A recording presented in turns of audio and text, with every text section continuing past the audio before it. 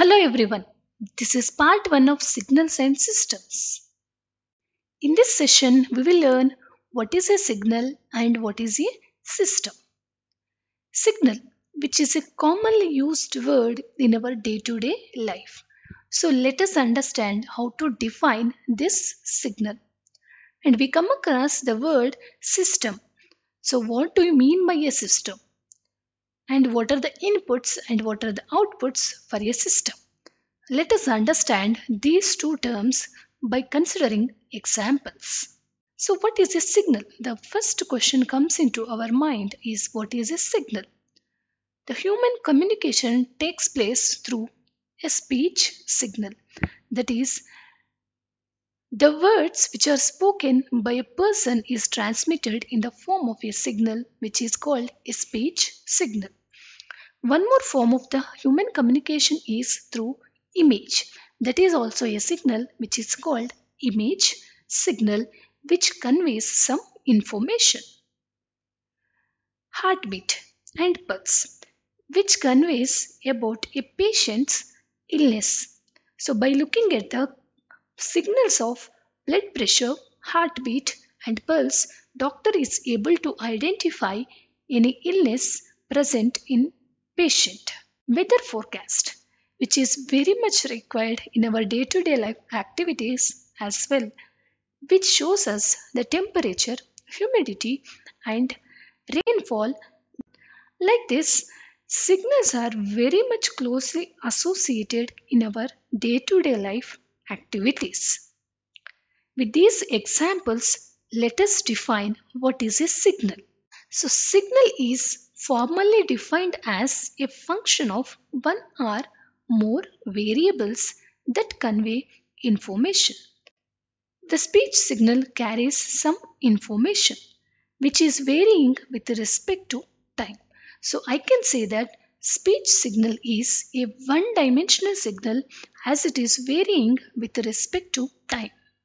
When you listen to my voice, sometimes it will be high in pitch and sometimes it will be low in pitch. That is, it is varying with respect to time. So I can say that it is a one dimensional signal. When you look at the image on the screen, which is varying with respect to horizontal and vertical axis, you can say that image is a multi-dimensional signal. If a signal is varying with respect to a single variable, it's called a one-dimensional whereas if it is varying with respect to two variables, we can say that it is a multi-dimensional signal. Now we know what is a signal. Is a signal exist on its own?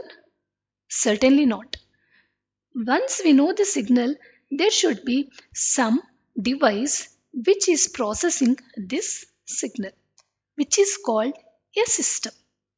So, System is formally defined as an entity that manipulates one or more signals to accomplish a function, thereby yielding new signal. Simple example is speech signal. The voice which is delivered by me is reaching to your ears. Ears are processing the signal and you are producing some response signal. So the response is nothing but it's a new signal. So in simple words I can say that our body itself is a system which is producing some signals. Right? Like this signals and systems are common words which we come across in our day-to-day -day life. So we can say that for a system input and output are signals. So let us list out some applications of signals. Communication system which is very much important in our day-to-day -day life. In control systems, micro electromechanical systems, in remote sensing, biomedical signal processing and in auditory systems. These are to name few applications of signals. I hope that with this the basic definition of signals and systems are clear for you. In next session, we will discuss types of signals. Please subscribe to our channel for latest updates. Thank you for listening and have a nice day.